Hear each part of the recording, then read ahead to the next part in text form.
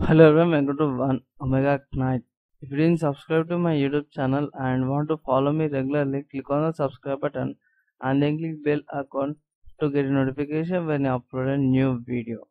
So guys, uh, today you will learn how to convert a basic object into a glass object very quickly in Blender 2.79 using Principled Shader. So now let's get started. So here I have a cup so I'll just right click to select my cup here and go to here cross hatch area and just drag it down and also create these panels here. And I will uh, change uh, one panel to render view so that uh, I will can see the final output here. And I will change this uh, uh, big panel to a node editor so that you can also see what I change in the Principled Shader. So here have only one Principled Shader and one material output. That's it. And I will zoom in a little bit here. So here we have with some default settings uh, I didn't change anything.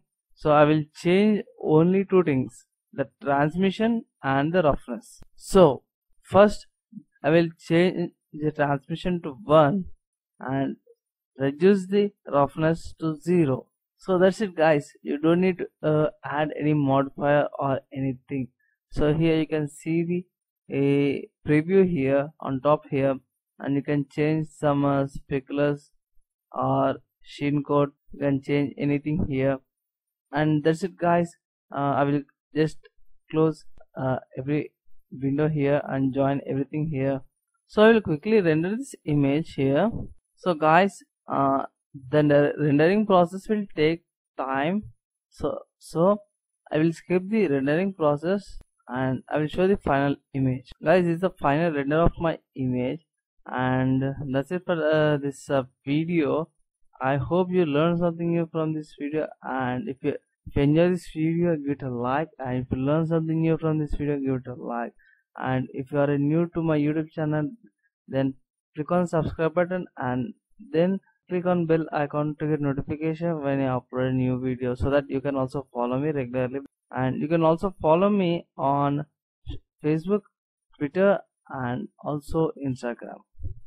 And uh, please share this video with your friends family members so that they uh, they can also learn this new method of uh, using new Principled Shader in Blender 2.7 so guys thanks for watching this uh, video and that's it for this uh, video